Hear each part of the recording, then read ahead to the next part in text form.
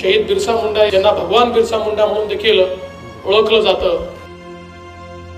ज्यावेळी इंग्रजांचं राज्य होतं आणि इंग्रजांनी आदिवासी समाजाच्या जमिनीवर सावकारांच्या मार्फत कब्जा करायचा प्रयत्न केला जंगलांवर कब्जा करायचा प्रयत्न केला त्यावेळी भगवान बिरसा मुंडांनी आदिवासी समाजाची जमीन जंगल आणि जल याच्यावर कोणालाही कब्जा करू देणार नाही. आणि म्हणून एक मोठा संघर्ष हा इंग्रजांच्या विरुद्ध छेडला. केवळ पंचवीस वर्षाचं आयुष्य त्यांना मिळालं पण या पंचवीस वर्षाच्या आयुष्यामध्ये अक्षरशः इंग्रजांना सळो की पळ करून सोडलं.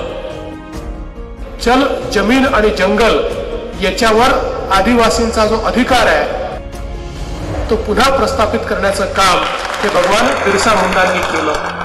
भगवान बिरसा मुंडा यांची तर प्रेरणा आजही समाजाला मिळते कारण त्यांनी एक अशी व्यवस्था उभी केली होती की ज्या व्यवस्थेनं जी आदिवासी संस्कृती आहे ती संस्कृती कशा प्रकारे न्याय देऊ शकते अशा प्रकारचा विश्वास हा त्या काळामध्ये तयार केला.